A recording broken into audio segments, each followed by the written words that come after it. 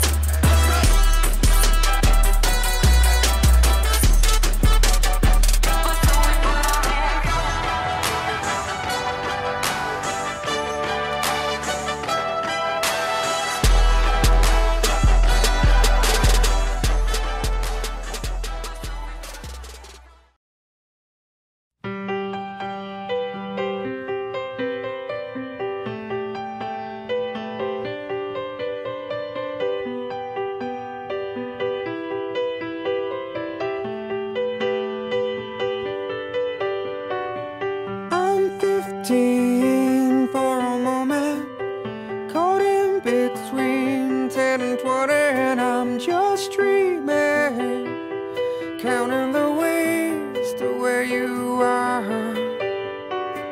I'm 22 for a moment, and she feels better than ever,